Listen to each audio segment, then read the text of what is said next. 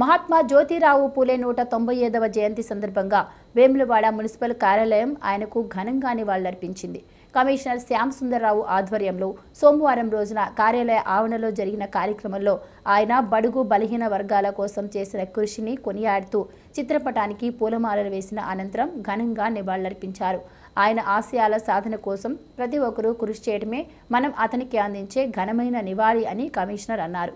కార్యక్రమంలో పలువురు వార్డు కౌన్సిలర్లు మున్సిపల్ అధికారులు సిబ్బంది ఉన్నారు.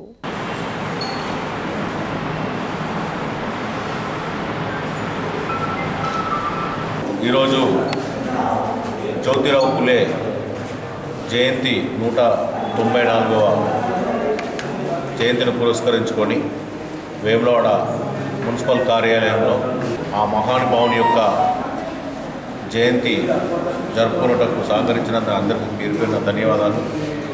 మరి జ్యోతిరావు పూలే గారి గురించి చెప్పాలంటే తను కుల నిర్మూలన అనే దాని విషయంలో యావత్తు భారతదేశంలో ఉన్నటువంటి అట్టడుగు వర్గాల అభ్యున్నత కోసమై తను ఎన్నో పోరాటాలు చేసి తన జీవితాంతం కుల నిర్మూలన మరి రూపుమార్పుల కోసం పాటుపడినందుకు ఒక మంచి ఉద్దేశంతో ప్రజలలోకి వెళ్ళి మరి అంటరానితనాన్ని నిర్మించాలనేది ధ్యేయంగా పెట్టుకొని ఎక్కడికక్కడ మరి ఇవన్నీ మనం ఎక్కడికక్కడ ఇవన్నీ అరికట్టాలంటే అది విద్యతోనే సాధ్యమని తను విద్యపై మరి ప్రజల్లో అందరికీ విద్యను అందించే దిశగా పోరాటం చేసినటువంటి జ్యోతిరావు పులే గారు.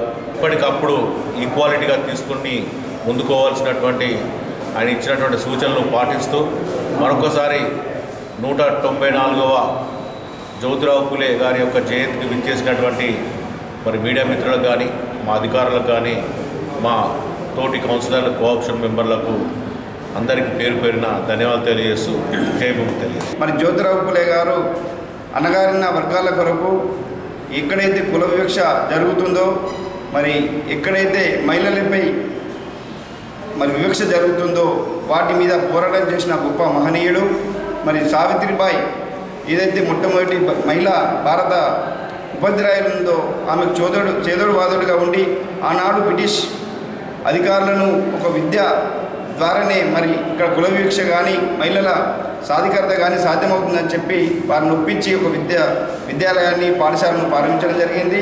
మరి అదేవిధంగా చిన్న వయసులో వివాహమైనటువంటి మహిళల భర్తలు చనిపోతే మరి వారికి పునర్వివాహం చట్టం మీద మరి వాళ్ళ వివక్ష మీద కూడా మరి పోరాడిన మహనీయుడు మరి ఈ రోజులలో సిగ్గుచేటు ఇంకా కుల వివక్షత గ్రామాల్లో కానీ పట్టణాల్లో కానీ కొన్ని కులాలపై వివక్ష జరుగుతుందంటే నిజంగా సిగ్గుతో తలదించుకోవాలి. మరి ఆయన కళలు కన్నా సామ్రాజ్యం సమాజం ఇంకా నిర్మాణం కాకపోవడం బాధాకరం. మరి ఇకనైనా ఆయన పోరాటాన్ని మరి ఆయన స్ఫూర్తిని కొనసాగించి మరి ఆ మహనీయుని మరొకసారి తలుచుకుంటూ జ్యోతిరావు పులగారి జయంతి సందర్భంగా శుభాకాంక్షలు తెలియజేస్తాం. మున్సిపల్ కార్యాలయం ఆవరణలో జ్యోతిరావు పులే గారి జయంతి సందర్భంగా గౌరవ కౌన్సిలర్లు మరియు సిబ్బందితో పూలమాల అలంకరించి వారికి శుభాకాంక్షలు తెలుపడం జరిగింది. వారు చేసిన సేవలు వారు ఇంతకుముందు ఆ, కుల వివక్ష కానీ ఇలాంటివి చేసిన వారికి వారికి చేసినవి మనం స్మరించుకుంటూ వారి అడుగుజాడులు నడవడానికి అందరం ముందుకు పోతున్నాం.